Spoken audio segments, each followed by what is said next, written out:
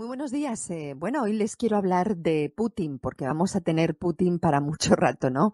Ya antes de que acabara la votación de la reforma constitucional que le permitirá a Putin seguir en el poder, supimos que ayer por la tarde tenía un respaldo por encima del 77%, muy superior al 50% que necesitaba para que fuera aprobada la reforma.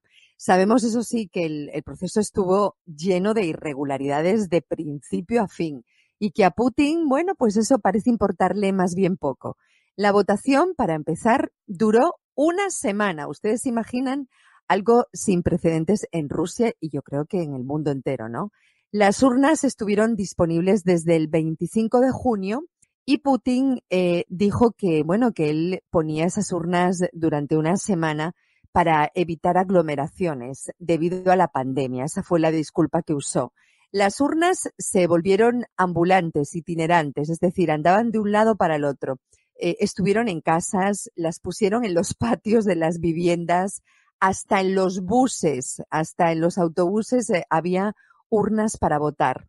Y ni hablar del voto telemático, eh, que eso fue un auténtico caos. Hubo gente que votó más de una vez y algunos no pudieron votar porque otros ya habían votado en su nombre. En definitiva, todo un compendio de irregularidades que no solo, pues no sonrojan a Putin, no crean, ¿no? Sino que no alteran en lo más mínimo ese rostro impenetrable y de hielo que él tiene, ¿no?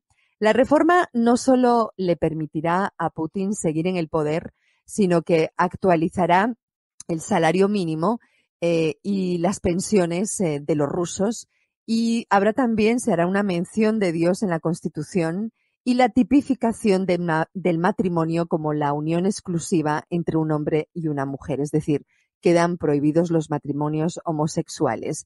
Habrá también otras 200 modificaciones entre las que está la protección de la cultura rusa, la protección de la verdad histórica y esta es muy interesante. Es la enmienda que establece la prioridad de la Constitución rusa sobre el derecho internacional de modo que el país se apoyará en su Carta Magna en caso de que las decisiones de instituciones internacionales no le interesen. Peligroso. De modo que Putin, quien tanto ha criticado a los zar y que repite constantemente que él no es un zar porque él no reina, sino que trabaja todo el día, bueno, pues eh, va camino de atornillarse tanto o más años que la realeza rusa, a la que él eh, tanto critica. Catalina la Grande reinó 34 años, Pedro el Grande estuvo casi 43 y Putin es posible que se quede 36 con esta reforma.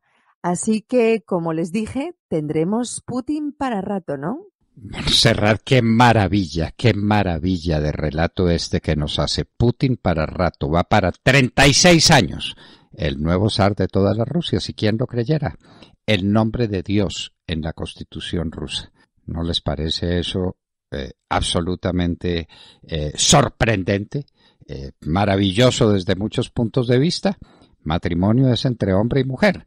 No digo, no coincido con Montserrat, habría que ver lo que se prohíba la unión permanente entre dos hombres o entre dos mujeres. Lo que pasa es que eso no es matrimonio. El matrimonio es entre un hombre y una mujer, lo dirá la constitución rusa, la constitución que le permitirá a Putin quedarse en el poder por treinta y tantos años. De manera que tendremos zar de Rusia para mucho tiempo.